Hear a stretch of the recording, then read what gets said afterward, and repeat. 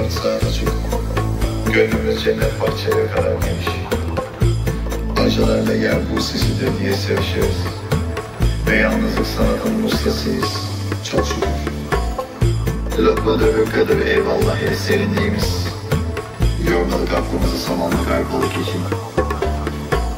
Bilen bilir hangi bağlarda nasıl edindiğimiz Ruhumuza gıda hüzünler toplamak için Neşemizde ağlar efkarımızda tüter gölgemiz. Halimizde bir yeşil kefen bezimizde hüzün Sevince sevdamızda, susunca nazarımızda yanar. Şarabımız, keyfimiz, iki gözümüzde hüzün